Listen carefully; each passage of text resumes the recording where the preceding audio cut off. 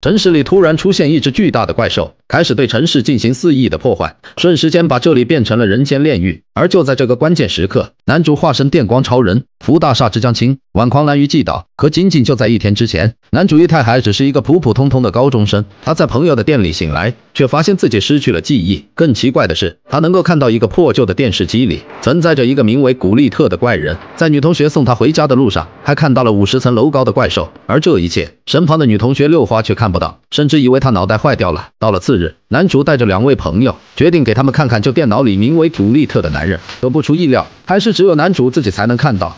因为所以この世界に危機が迫ってる。话音刚落。店里边发生了剧烈的震动。而这一次的灾难，不是只有男主一人能够感受到，而是整一个城市的人都能够感受到。一只巨大无比的怪兽突然出现在城市中央，立马便开始肆意的破坏。就在这时候，男主感知到了古利特的召唤，于是他迅速来到电脑面前，没讲两句话，便直接把男主给吸进了电脑里面，随后与男主进行融合。片刻功夫，男主便化身为古利特，就像是奥特曼一样，也出现在了城市中央，开始与怪兽展开战斗。